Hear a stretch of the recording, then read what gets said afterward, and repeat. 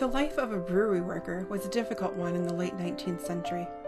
The workday lasted between 14 and 18 hours and consisted of heavy lifting and endless waiting, often in very hot or wet conditions. Although the conditions were dismal, the pay of brewery workers was above the average annual earnings in other industries.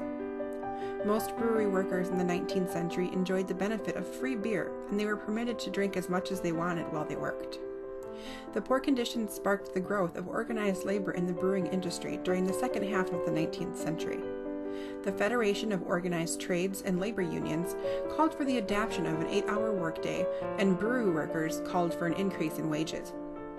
Few industries, including brewing, gave in to these demands and strikes began. Despite some violence and a pushback by the United States Brewers Association, workers gained contracts with all the major breweries by 1900.